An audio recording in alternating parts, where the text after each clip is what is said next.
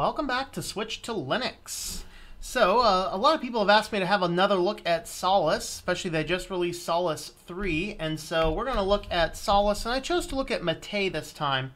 Um, I did Budgie last time, uh, so the three options right now are Budgie, Mate, and GNOME.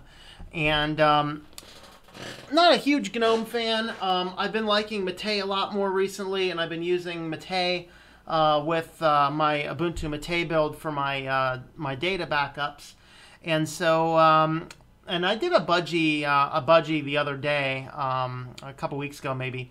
So I just kind of wanted to look at Mate and see what the progress is with with Solus three.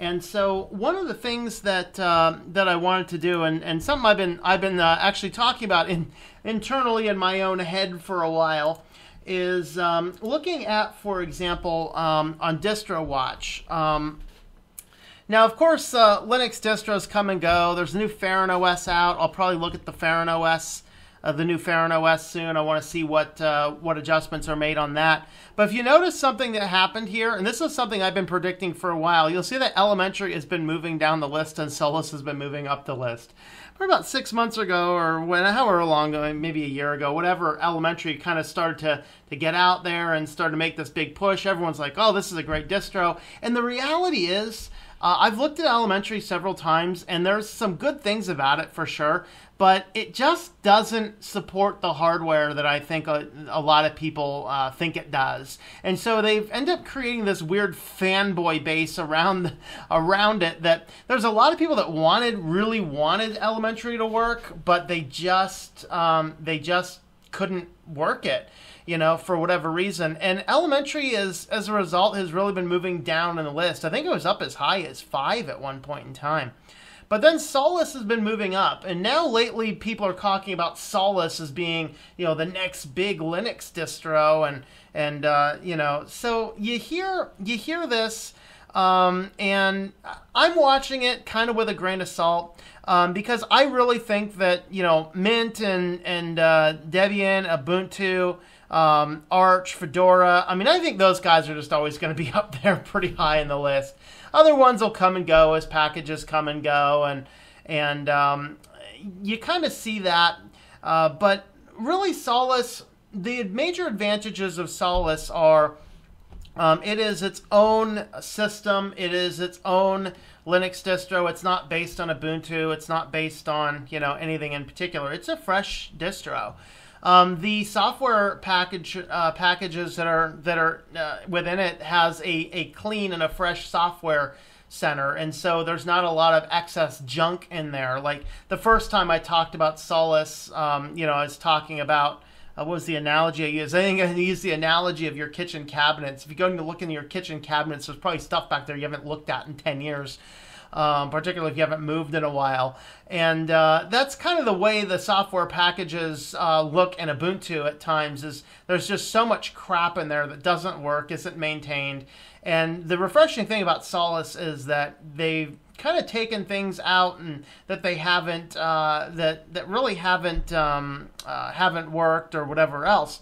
Now, the weird part and the thing that I'm a little critical of is that while they happened to do that, um, another thing though that they end up inadvertently doing is making some interesting choices on some of the software packages. For example, Google Chrome is in the package manager, but Chromium is not.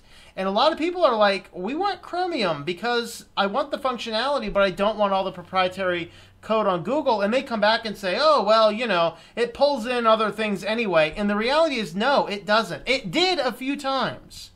And people made a big fuss about it, and so they stopped doing that.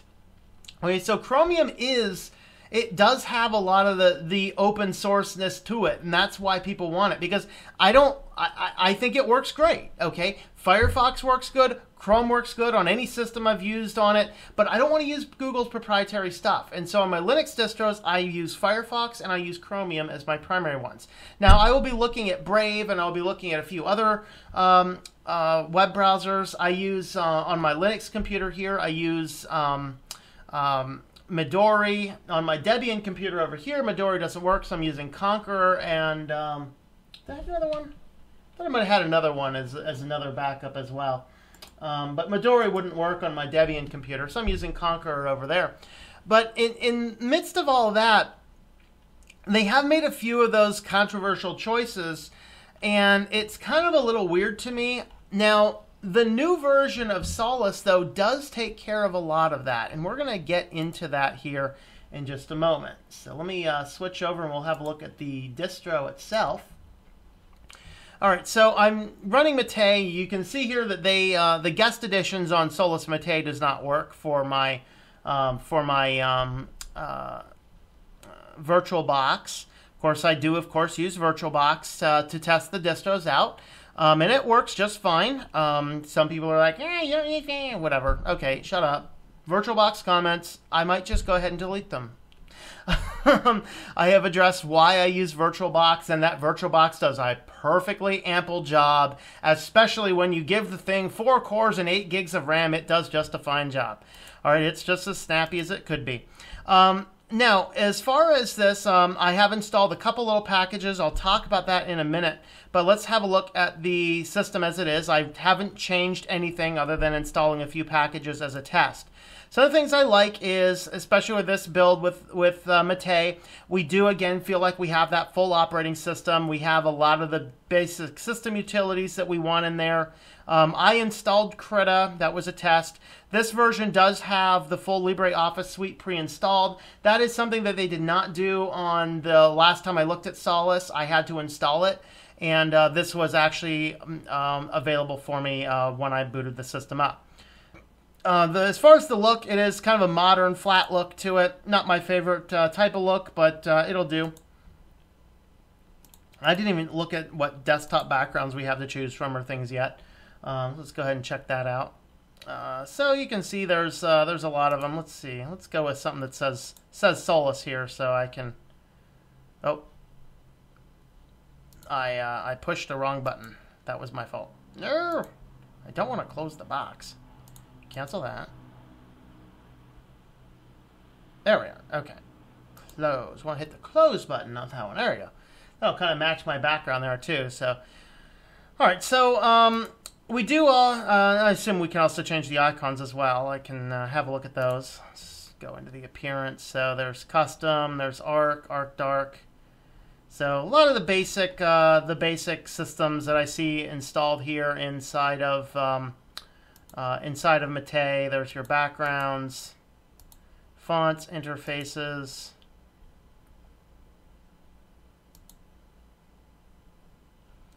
All right, let me hit the customize icons. Okay, so we have we have my GNOME for my uh, Anoeta for my older ones. Let's see what these ones look like.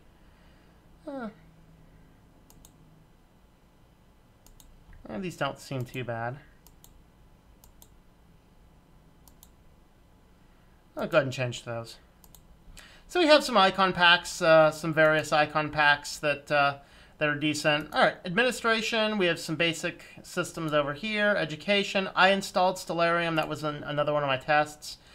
Um, and I also installed, let's see, is Chromium actually going to work? Hmm.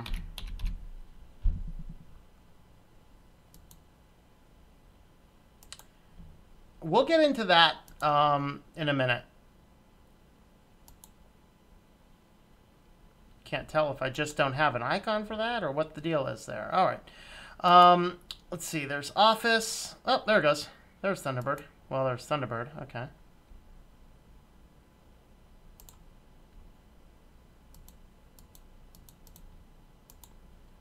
Skip. Cancel. Close. Okay. it Looks like it's maybe just this icon pack just doesn't have... Uh, doesn't have a Thunderbird thing. Let's that's weird. I'm just gonna go ahead and change that back. Hey, there's Chromium.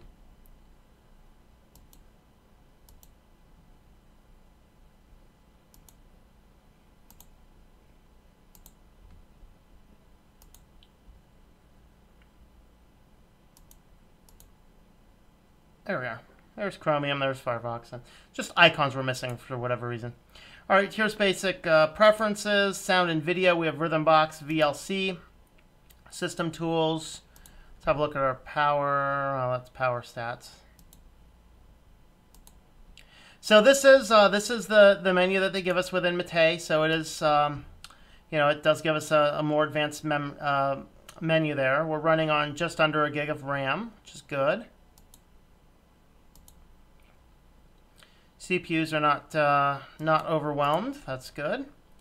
All right, so uh, the biggest major advantage that Solus has now, that debate with Chrome and Chromium was causing a little bit of an issue. Some people have even said they didn't wouldn't use Solus because they didn't really seem to know the difference between Chrome and Chromium.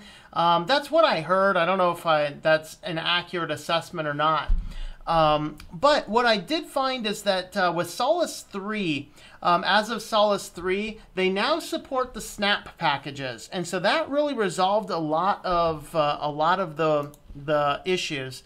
And so with the snap packages, you can install um, you can install various uh, things such as Chromium now, and anything else inside of the snap system. So I installed Stellarium. Um, I installed Krita. So anything that is available now inside of a Snap package, you can install. Now this is excellent. Now Snap packages on Ubuntu don't make as much sense in, in a way, um, but on a system like this where the, the uh, software available in the repository is fairly light, then the Snap packages is an awesome thing. So if you don't know what the Snap package is, this was kind of started by Ubuntu. And the idea is that you take your packages and you package everything together with all of its dependencies inside of one package as a means to distribute software across Linux distros in a much better format. Kind of like, um, if I dare use the analogy, like a Windows uh, install file, which will bring everything with it that it needs, well, hopefully. And so um, with this, uh, the Snap packages is excessively nice when you're talking about um, a distro that has so uh, so light of an amount of packages in its own software center because now I can also bring in anything else that they didn't have have packaged. And that's actually pretty nice. So you can actually just go right into the to the snap package site here and you can search for anything that you might want um, by based on your categories or whatever else. And then um, what you can do here is just figure out so here's, you know, Nextcloud. So basically, uh, to install a snap package on Solus, um, this is why I did this just as a test. You want to do sudo snap install and then just whatever the name of it is. So I'm assuming that this is Nextcloud, which I really start need to look into soon here because um, um, either want to do either ownCloud or Nextcloud, some type of cloud system in my office. Uh-oh. That's my password. One of the things I didn't like about the install base of, uh, of the system is it did not let me choose just any old password I wanted. I just want to do a simple Solus password. It would not allow me to use that, so I did Solus Solus this time. You can see here that now it will install this without a big deal. So if you do know where the snap packages are, this is a very nice way of installing packages to the Linux distro. Um, especially how light it is. So, as far as Solus is concerned, that is the biggest major thing with Solus now is it really is moving to that area where you can really use a whole lot more of the applications that you may not have have had the options to before. Um, and so it is moving up as as a better system. I think it's still a little bit more locked down than most Linux distros um, could be, and so I don't know. That's just kind of a kind of an impression, a personal opinion that I get. So there you can see it's installed, so I should be able to access it now. Whoa.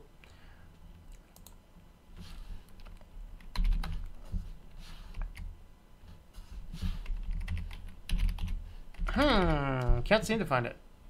well,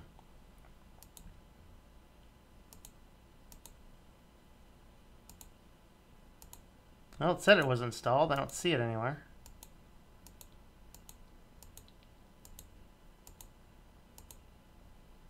Hmm.